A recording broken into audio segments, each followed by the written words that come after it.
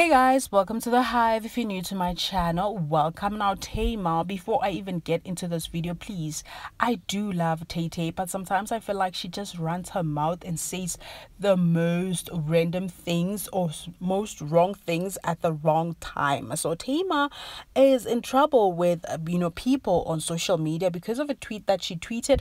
I believe she felt it was a joke, but when it comes to celebrities, I feel like some things shouldn't even be said on a public platform.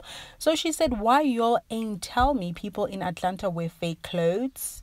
I want to go home, she said. Well, people went having it. Some people actually got the joke, others didn't get the jokes. Some people were telling her to remove her fake lashes, her fake hair, and also her fake makeup, and they were just so upset. Now, this is what they said Why would someone else's clothing choice bother you? You don't know what they may be going through. Stay humble. Another one had this to say People like 60 talking about fake clothes. LMAO, laughing my ass out. Wow, take the fake hair out of your head, ma'am. Another one said, if it bothers you so bad, give the money for, for new clothes. Yes, please go home. I'm sure the people of Atlanta wouldn't miss your pettiness and stank attitude. Okay. I really feel like she shouldn't have said that, whether it was a joke. I mean, people on social media are just so angry. What are your thoughts? Do drop me a comment for more entertainment, more gossip, more news. Stay tuned.